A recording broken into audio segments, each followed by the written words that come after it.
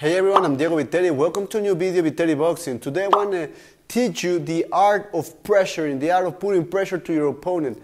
The invisible game that obviously no one sees, but you should know in order to pressure your opponent and the footwork that is needed in order to shorten the gap. If you need to close the gap, you need to, you need to try these three different ways of, of using your footwork. So let's begin with the class.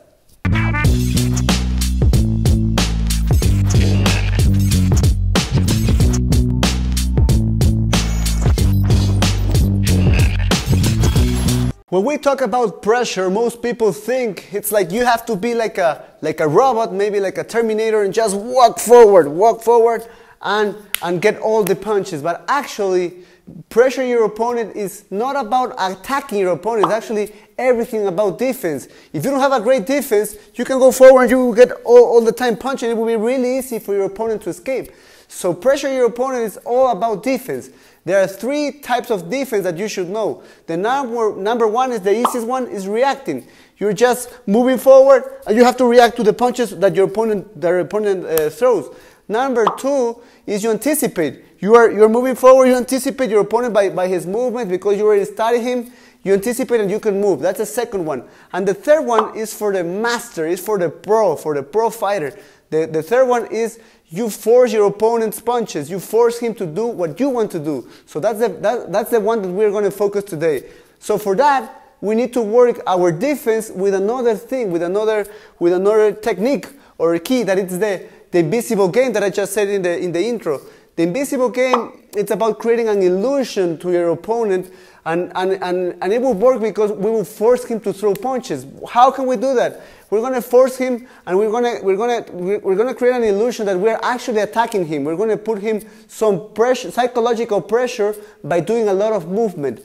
By that I mean maybe you can use your, your, your fencing stance, you can move your, your lead arm, you can move your lead arm, and you can be moving side to side, your head side to side, and that will create, that that will create a, a lot of psychological pressure to your opponent, and that will force him to throw punches. So moving a lot your arm, having some feints, moving your head side to side, and even doing some sounds,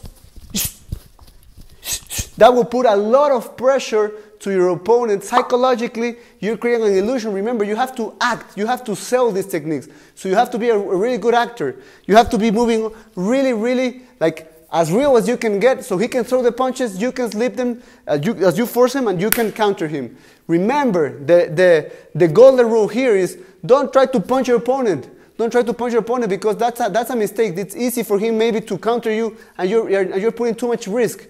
When you're pressuring, create this illusion, this invisible game, and make and force him to do those mistakes so you can counter him. To work at home, the best, the best equipment you can use is a double end bag. And what we're going to use is we're going to counter our opponent. We're going to use all the, all the, all this invisible game that I just said. Uh, we're going to feint. We're going to count our opponent move we're going to force him, but we, have we have to practice our defense. We have to we have to catch punches. We have to move. We have to move our our feet, switch stances.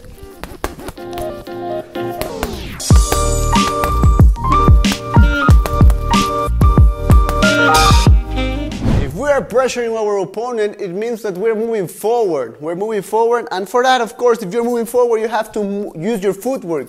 For this footwork, we're going to use three different types of footwork that you can use, and you have to use all of them because um, all of them use different, different rhythms and different speeds. If you only use one, it's really easy for him to anticipate and even counter you or catch you with any punch. So make sure you use all of them so you can be unpredictable with your opponent. Number one is just walking. It's the slowest one. It's the slowest one, but you have to walk. You're walking to your opponent. You walk. You walk him and you're moving your arm. You're moving, you're, you're taunting, you are, you are proving him. That's the first one. Just walking. Just walking, always positioning yourself. If he moves to the left, if he moves to his right, you move to your left, a little positioning. You move, you move your positioning always so he can't, he, he, he can escape, but you're always putting pressure to him. The second one is you're going, you're going to use darting, darting forward or jumping forward in Spanish, we call desplazamiento. Desplazamiento or darting forward means we're going to put the tip of our toe the, the, from our rear foot and we're going to move forward. This is a really explosive movement and it helps you to, to, to, to surprise your opponent. You're moving maybe slow, you're moving slow, and then you catch your opponent with a punch. Maybe a, a gazelle hook, or maybe a jab. Or maybe you're moving here, slow, you're putting pressure, and you throw across. So darting forward or using this desplazamiento will help you to move really fast to change the rhythm and catch your opponent when you're putting pressure. And the third one, it's a, a really good one, and it's a double shift. It's, a, it's another way of moving. And, it's in, and you're going to be walking in a straight line, completely in a straight line using your footwork. Whenever you throw your jab, you're going to you're to step with your right with your right foot. You're going to throw your jab, but since I'm walking in a straight line, I have to move my head out of the center line so he doesn't catch me with a punch. So I throw my jab and I throw my cross.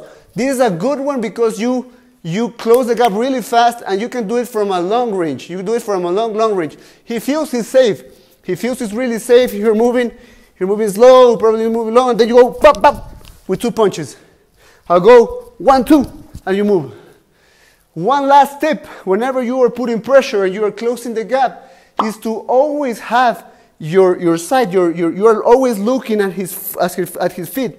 You're always looking at his feet. Never try to, never try to see, to, to look at your opponent's eyes or maybe his head. If you see to your opponent's head, you are unconsciously going to raise your head and that will put you in a, in a, in a position that it's vulnerable to a, a better punch for him. So if you look to your opponent's feet, that's enough.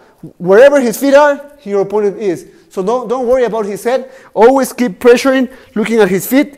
Keep your chin tucked and use these three different types of, um, of footwork because they will definitely help you because you're changing rhythms.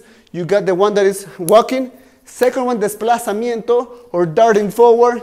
And the third one is the double shift commonly used by uh, Soviet Union or Russian fighters. Thanks everyone for watching my video. Remember, the art of pressuring is not about attacking, it's about defense and it's about being intelligent and using good tactics as we as I always train in human chess. And remember, human chess is another way of training, it's another philosophy, another discipline where we are trying always to look how you express yourself, how fluent are your, your movements, how, how fluid are your movements, and also, of course, how many techniques you can use in order to, to neutralize your opponent, to, to look for a checkmate. It's, it's just a game. I'll show you in another videos with, with a student how we practice human chess so you can also train with a partner somewhere else. It's because, it's just a game and it's really fun because it will sharpen your mind and your body. And leave me a comment below, a thumbs up, and I'll see you next week.